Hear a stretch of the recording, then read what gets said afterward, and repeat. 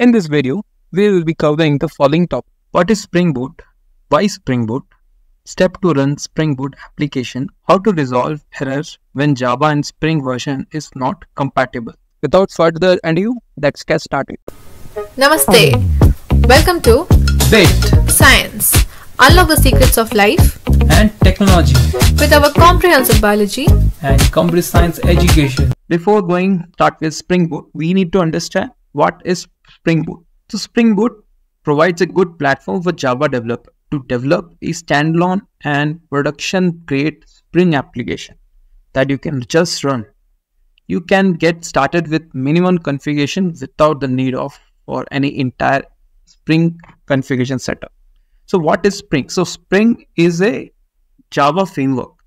So Spring Boot is different and Spring is a framework. When we talk about Spring Boot, that is a the version, the newer version of the Spring framework. Okay. So don't get confused what is Spring and what is Spring Boot. Both are same. It just added the newer version of so we always say Spring Boot. Okay. Earlier when we used to work with Spring, we used to do some configuration. So so if you have seen any application or if you have seen in mobile uh, in the feature mobile, we used to have some game right where you can uh, play some certain snakes or some different kind of games. So those mobile those are are actually built with simple jar this Java programs. So how those came into here? So that is a those are Java program, but the thing is it also has some certain application how it has to run what logic it has or everything is there so that was with the java applet and java application where you have to uh, execute. That also becomes the jar file here. But in this we are understanding spring boot. This will help us to create a production grade application. What that means is you can create a web application. Or if you don't want to create web application you can also create a simple software for everyday use or for any other client. Why Spring Boot we have chosen? Spring Boot is a popular framework for creating Java application. It makes it easy to create a standalone and production grade Spring application that you can just run. Spring Boot offers number of features that makes it great choice for Java developer, which includes like flexible configuration, powerful batch processing, RESTful APIs, automatic configuration, annotation based programming, dependency management, and embedded servlet container. Let's understand by some example. Imagine you're building an application that needs to be able to connect to variety of databases. With Spring Boot, you can easily configure the application to connect to the database that you want without having to write any custom code. You can also configure the application to use different cache strategies, logging levels, and other stat settings as well. This makes it easy to customize the application to your specific needs. So this is about flexible configuration. Let's understand few example with how powerful batch processing works. Let's say you need to process a large amount of data, such as customer orders or financial transaction with Spring Boot, you can easily create such batch jobs that you can process the data in the background. These batch job can be scheduled to run at any specific time, or it can be triggered by any event. This makes it easy to process large amounts of data without impacting the performance of your application. Isn't that very wonderful?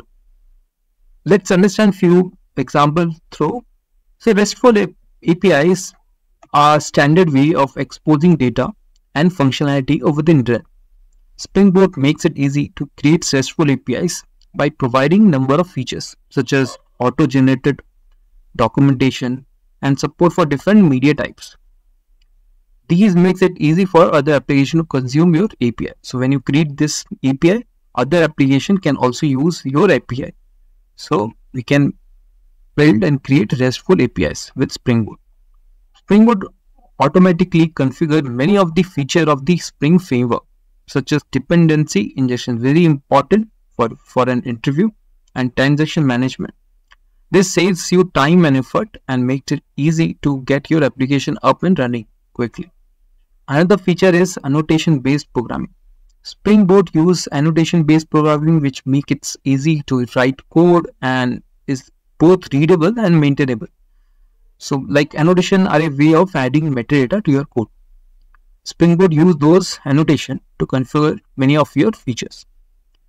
It's very easy to understand how your application is configured and it makes it easy to make changes your application in the future. The other two are dependency management which is very important. We are we are going to elaborate in one of our topic. Dependency management, which are these are libraries that your application needs to run. Spring Boot provides number of starter dependency wherever you run an application, which are predefined bundle with libraries that you can use to get your application up and running. It also makes it easy to write dependency of for your application and helps prevent dependency conflicts. We will understand more about this in later. Spring Boot includes embedded servlet container. What it means that you don't need to deploy your application to separate web server. It also makes it easy to your application up and running quickly and it also makes it easy to test your application locally. So that's what embedded servlet content means. So let's see how we can create an application. To in order to create an application, first the prerequisite thing we need to have in our system is first you need to have a Java. Java has to be installed. Okay. So how to install if you know or not, just go to any browser. Okay. Let me share that. See Java. Search Java and find where this Java. You need to download that this Java from any download. So this is Oracle, which has their okay. Just download the Java, any latest version. But always remember, whenever you're downloading, it has to be version 8 or more than 8. Okay. You cannot go back to 7, 6, 1, 2 Java. You can take 11, 12, 18. That all are fine. But it has to be more than 8. Why? Because Spring works on more than 8. So after installing, you you will see Java will be stored into your app, mm, your system where it will require some installation process. Follow that. It will just install to your particular. Uh, if you are using Windows, it will store to your C where program files are there. It will store Java. And also, I would recommend to add those uh, environment whenever it is uh, asking. Just add those environment as well. If not, that is also fine. We can always uh, add that bean environment setup later on also. So next we required a ID. What is ID? IDs are integrated development environment. There are many uh, app software like uh, NetBeans. We have we have uh, Eclipse. We have IntelliJ. Right. There are many. We also have a Visual Code. You can go and check any and any of that and pick install. It is up to you wherever you're comfortable you pick but i would recommend to use eclipse most of the developer are using eclipse if you get stuck somewhere you will get uh, so many solutions in the community where you can understand what you want to find out. If, if there are some error it will definitely give you some solution. So download that. This is also we have eclipse official website. You can download this one. You can take this latest build. Also can go back to other build as well. There are many as well also. So this will also store and it will install to a particular C drive if you are using Windows. These are two things which is prerequisite for Spring Boot. Other than Eclipse, we have another called uh, Spring Suite. If you heard or not, this is SST. So ST is about Spring Tool where this is the official website of Spring. You can also go and check this link provided. This looks similar like Eclipse. You can see this, right? This looks similar. What it has is pre-downloaded everything whatever required. There are some plugins which is required when you install eclipse. So those thing is already present. Also you don't need to go to this spring initializer this is the next step we are going to do it. This is also present in eclipse. So this spring tool. So this is a id this is the fourth or fifth id which i have uh, mentioned. So you can take. We have the spring tool for visual studio also. We have TR also. These are some plugins. It will automatically add it to that ID. You don't need to separately download. You can also check this website and download it. Next, let's see how we can start our Spring application. Go to this Spring initializer if you are using other than this Spring tool. Other than that, you can just go to the Spring start.spring.io. This is a Spring initializer. This will help us is create the Spring a project structure. Why we are talking about project structure? First, whenever you start ID, you have to create a project so what are the project and how the project will have the file structure? However, there is no one definitive Spring project structure, but there are some common conventions that are followed by most developers. The Spring Boot project structure is designed to be flexible and scalable. It can be adaptive to the needs of any application, regardless of the size or complexity. So you can see this Spring initializer, which will have project name. So first line talks about which build tool you are going to take. So I am not going to uh, go with Groovy. This is one of the build tool. Kotlin is also one of the build tool. We have Maven also. So Maven I'm going to click because of the easier way to Maven. So Groovy and Kotlin are Kotlin is one of for Kotlin language and Groovy is a dynamic language which means that it can be used to create script that are more expressive and concise than Java code. This can be helpful when you need to quickly and easily create a build script. So Maven, we are going to pick it and language we are going to follow with Java, not with other language. Next, you can choose the default Spring Boot as 3. Okay. Also, you can check anyone. So you can see this project metadata. What is metadata? This is your project's data of data, which tells you that how your project is going to structure. So three thing is important. We should have a group project name. This is the project name. Then where that name is going to reside is is actually in the artifact. Name will be inside artifact and artifact is going to be inside group. Okay. This this is the way they follow. So the package name would be whatever you write here group. So I'm going to say group and this is artifact and this is the project name. Okay. So I can say Spring app. Okay. So this is how it is going to project name would be group.artifact. Under that, our code will be there. Okay. Packaging. There are two way to packaging means after building with Maven, what is your output? Is it your jar, Java archive or var? var is web archive. So it has some difference. Both works the same way but majorly we use for web application like to deploy something in uh, which consists with javascript and uh, html part as well we prefer to use var another case java archive is fine so next comes to java version these are version so you can pick any version. You can go to 9 but always remember two things as you can see this version we already only have 8 so when you're downloading it is recommended to use version 8 or more than 8 that that is why spring will work because spring boot is not present in lower version. But spring framework is actually present. So that is the difference. Spring boot is version upgraded which says that it has to be more than java 8 version but with spring framework you can start with java 1 2 3 also that is older traditional way to do it now this is the easiest way and very quickly we can write application. Uh, second point to remember is whatever Java version you have installed in your system that should be lower to any of this. So if you have picked install 19 version then 1911 everything is fine. But if you have picked 8 version if your Java is installed with 8 then you cannot go with 1911 because those versions will be conflict. So I will pick 8 for now. I have 11 so that's fine. So you can see the uh, right hand side dependency. We there are no dependency. You can also add dependency to add.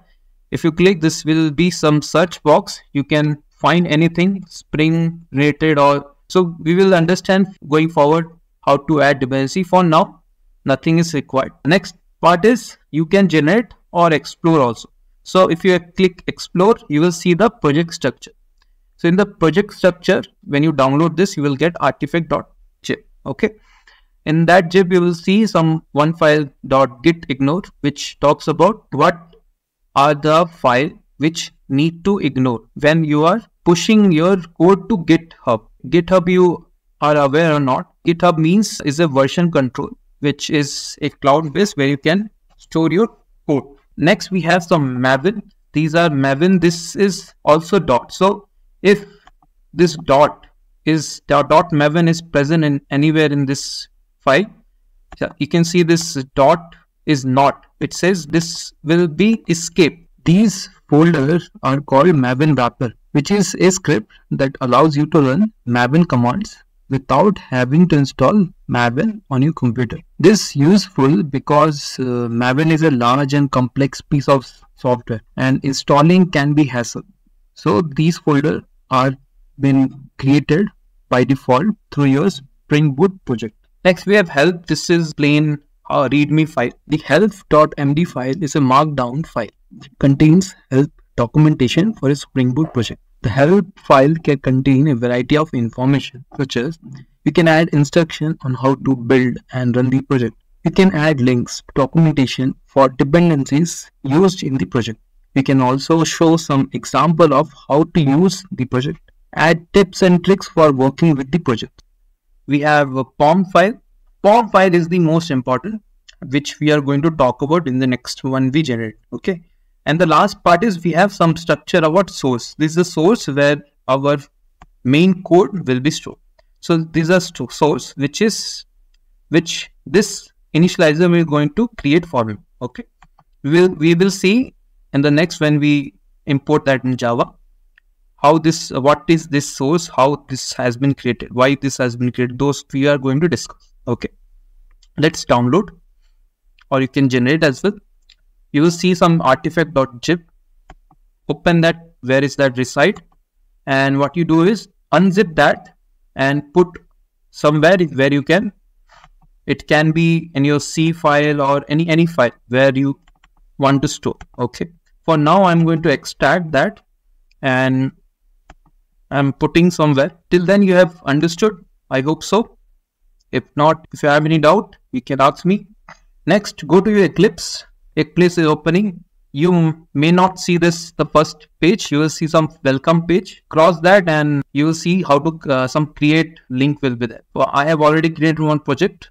Let it be there. Now you will see in the top there are some toolbar which talks about the project. Uh, this uh, Eclipse software. How what file you want to import. What new file you want to create everything is this go to open project from file system because i have already put it somewhere in my file system. Let me find that file system where it can be. I found it. So you will see this folder and it will also say finish because it will check the project structure. If that is there, then it will say Maven or it can be Groovy, any anything, any build also. So just say finish and your file will be present over here. This whole project will be present over. So you at the top you can see update maven project. So what it's happening is it started downloading everything which is required. At this point you must need internet to be connected so that it start downloading. If your internet is not present what will happen? It will start updating but it will not ha happen eventually. It uh, it requires some uh, added dependency which needs to be downloaded. So this is how this Eclipse is actually downloading for you. You don't need to do manually. So just give some moment for this. Okay. Uh, as you can say, 100% is been configured. So it will start up installing. So now it downloaded is successful and it will start building. So you can see the whole project structure has been changed now. It used to be the, uh, this whole thing was not there. Right? This was not there the only source was there and the POM file. And these also was there were there but this whole structure has been changed because of Maven. Maven is helping us to structure a project. Under this main, you will see group where we have created our group um, an artifact. Under that you will see spring app application. This code is already given to us. So you don't need to write in the from the scratch the next folder we have application.property it is empty. Write some environment or any credential you want to put. This is for property file. So you can see in this test file we have another same package name but it is under different folder. This is also app.test which talks about the test file. Test file means whatever you write the code if you want to test you also test through the java programming. So that is also there. So this two thing is already present for you. You don't need to write from the sketch as i said. You don't need to touch this file anymore. Always do from here because this looks very good because of the structure it is appearing right when yeah you will see the main but it you have to expand each right? So this is the best way to do it. The last file uh, is pom file okay?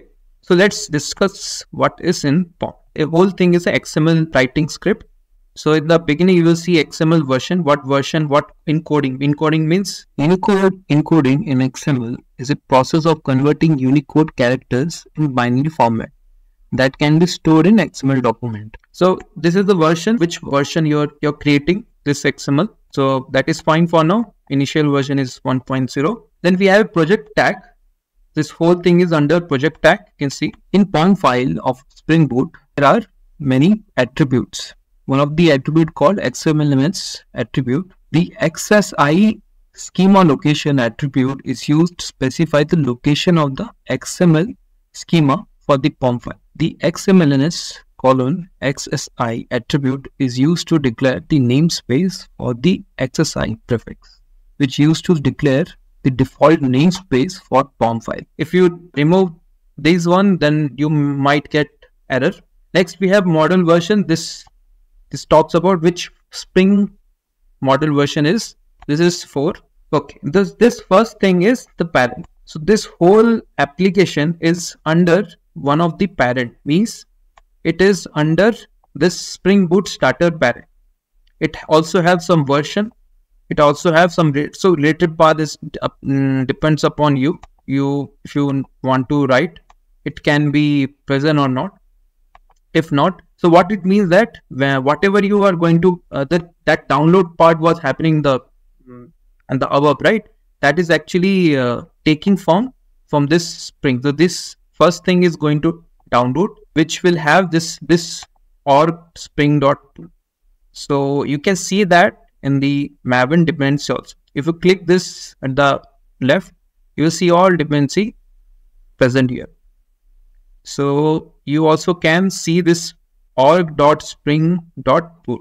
That is actually present under this spring boot starter you need something where you your application is has to be dependent okay? Every application dependent on something. So this is what. So next we have some group id these are the things when we we have set up if you remember the spring initializer we have set up this whole thing right? These are here artifact group name right? Coming back to here we also have description demo. This is also uh, set up when we are doing initializer. We have some property file okay? These are property file. This this tells that what version or what particular version you're following so if, if you want to change the version you can change it from here. So now the interesting part is all dependency. So from here we write the dependency. So in the beginning we we will get two dependency. If you're following initializer this initializer you will always get this two dependency. One is the boot starter which is a subset of starter parent and the second is starter test. This helps us to write testing file. If you ever delete this dependency, we can also delete like this. If you save it, what will happen? If you go to this testing, you will get error on this spring annotation. This is actually not present. What it means that this spring dot this is, is he is not able to find out this where this file is. How I should refer this spring boot. So in order to do that, must have this test or you can delete everything from here. That is also fine. This is the optional thing, but I would not recommend to delete this. Let it be. It's just a test file. Coming back to our project structure, the main application is this Spring App application java If you ignore this first annotation, we have a class, Java class called Spring application. This is also cannot be changed. If you change this name of anything, you will not able to run. Why? Because in Spring form, you have told how this Spring is going to create. We have name called Spring app, right? So this same name, they have taken Spring app. Then they have put application to create your application. You can write inside the main. So we have main method also, which have some args and here spring dot run. So if you run this application whole, then this is going to execute, which is also itself spring app application. So we'll go deep more on how what is this annotation means, why this is written. Okay. So for now, just see what are the structure it has. If you have any error on the project, then you're you're not able to build your whole application. Okay. In order to build, you need to go to that particular error file and resolve where what is the error. Okay. This has syntax mistake. Resolve that error because this Eclipse is going to help you what is that error means. Then you come back and see if there is error or not. Sometime also you will see some error, but that is logically correct. But what happens? Eclipse is not able to do it. You can ignore for now and try to build that up as well. So maybe after build or cleaning build, it helps resolve that error. The next part of the application to build a application this application. Right click on the project, go to your Maven. You can see Maven. This is the Maven where why? Because we have selected Maven. So you can update Maven. Update will help you to install all your dependency. What are the dependency? These dependency. If you have ever added more dependency, that dependency also will be installed. Okay. Next, again right click, go to run, do Maven click the fifth one. Okay. This all thing will be there if you have Maven Spring in your application. If you don't have Spring, so what you have to do is go to help and install new software and work with any you take any uh, website okay go to any website and just wait for a moment it will start downloading the source the software where you want to install. So here i want to add some plugin. I want to add spring. So search the spring. If if something is there with the spring it will show you. Or or you need to add maven actually not spring. So if you have if you find maven something m2 right?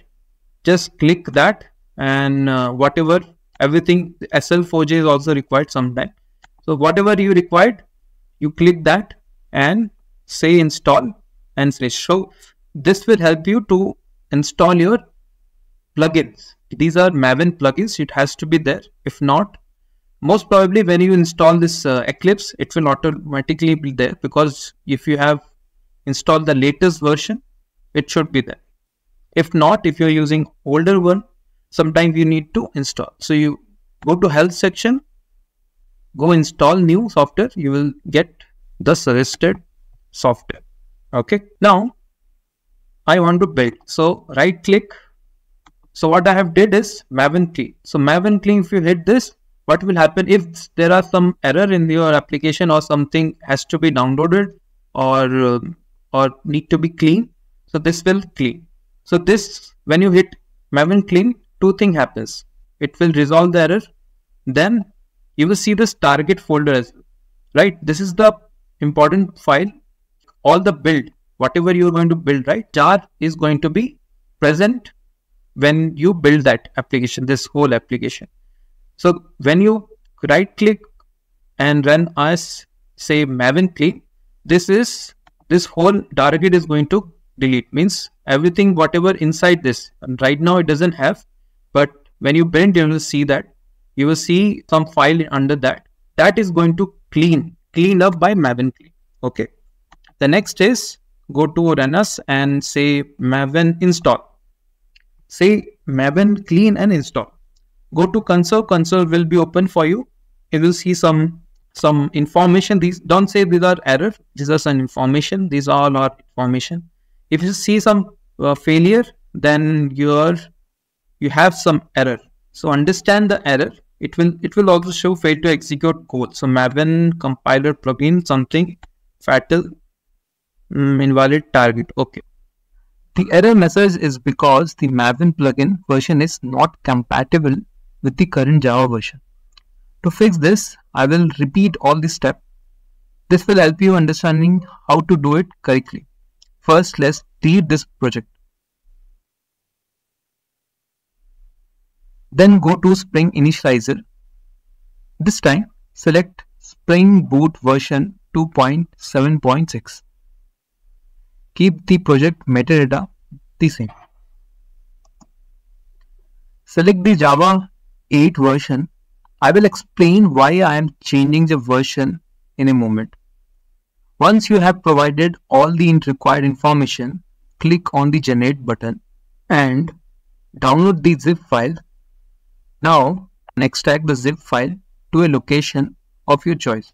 Once the zip file has been extracted, you can import the project into your IDE. In Eclipse, you can do this by going to the file, open project from file system, selecting the extracted directory, click finish.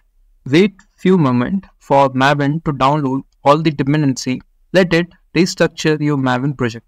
As you can see, the Java version is now 1.8. I changed the Java version because Spring Boot 3.0 requires Java 17 as a minimum version. However, my computer only has 16 version installed. Now you know why I changed the Java version. Now configure your Spring Boot build. To do this, right click on your current project and select run as Maven build. In the goals field, type clean space install and then click apply. This time you should see that your application builds successfully. At the bottom of the log, you should see message build successful. This means that your application has been built successfully. You can tell this by looking at the info logs, which should say test runs 1, failure 0, error 0, skip 0. This is the output of your application being built by Maven. I hope you are able to understand so far. There will be struggle. There will be like challenges. You have to uh, you have to overcome. You have to understand what could be the way.